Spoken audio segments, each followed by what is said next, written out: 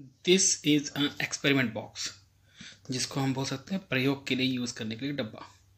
इससे हम कई प्रकार के प्रयोग कर सकते हैं। तो इसको मैंने सिंपल एक पुराने मोबाइल के डब्बे से बनाया है। यूज़ मोबाइल का डब्बा। मैग्नेटिक लाइन ऑफ़ फोर्स चुंबकीय क्षेत्र कैसा होता है? चुंबक, छड़ चुंबक का इस्तेमाल करके।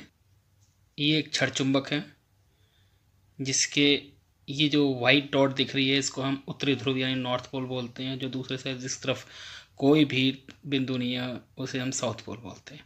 तो इसको मैं इस बॉक्स के अंदर रखूँगा।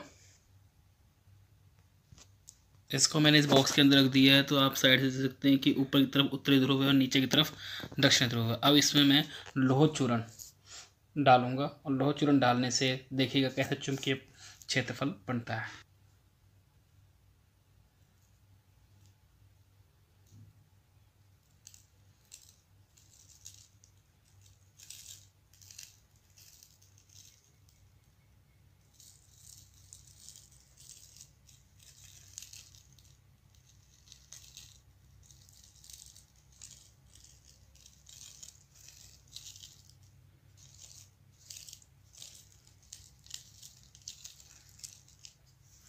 तो आप देख सकते हैं कितना बढ़िया चित्र बन गया है कि जो ध्रुव होते हैं, इन ध्रुवों पर बहुत ज़्यादा तीव्रता होती है, जिसकी वजह से यहाँ पर सबसे ज़्यादा चूरण जुड़ा हुआ है और बाकी आधे से कितनी अच्छी सी चुंबकीय रेखाएँ बनी हुई हैं।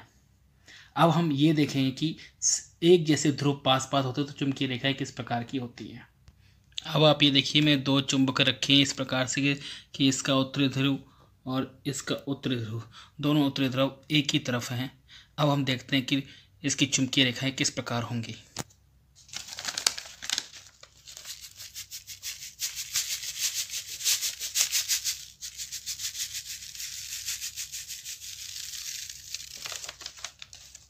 ये देखिए, मैं लोहा चूर्ण डाल दिया। इसके बाद मैंने इसको हिला दिया। हिलाने के बाद आप ध्यान देखिए कि जो चुंबकी, चुंबक की ध्रुव हैं, ये आपस में बिल्कुल भी नहीं जुड़े हैं और ऊपर देखिए नहीं जुड़े, यानी कि उत्तरी ध्रुव और दक्षिणी ध्रुव दोनों अलग अलग है। अब हम देखते हैं कि एक तरफ़ दक्षिण और उत्तरी एक साथ रखते हैं, तब क्या होता है? अब मैंने चुंबक को इस प्रकार से रखा है। देखिए, एक तरफ़ उत्तर, एक तरफ़ दक्षिण। दोनों ध्रुव आमने सामने हैं। अब हम इस पर लोहचूर्ण डालेंगे और देखते हैं कि ये लोहचूर्ण किस प्रकार से चुंबकीय क्षेत्रफल को दर्शाता है। ये मेरे हाथ लोहचूर्ण में डाल रहा हूँ।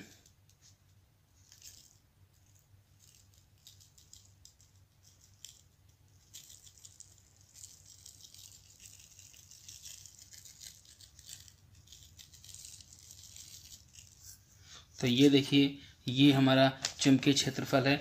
इसको हिलाने के बाद भी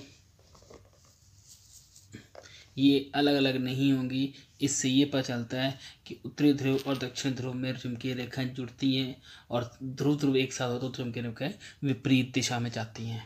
धन्यवाद। आशा है आपको ये प्रयोग पसंद आया होगा।